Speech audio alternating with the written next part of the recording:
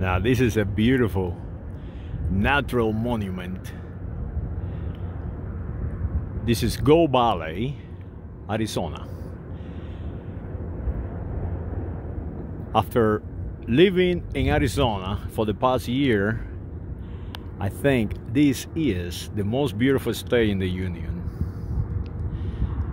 You have to really come here and live here for long period of time to see all the uh, the beauty of this uh, land.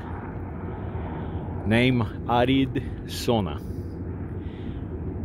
That means dry zone in Castilian.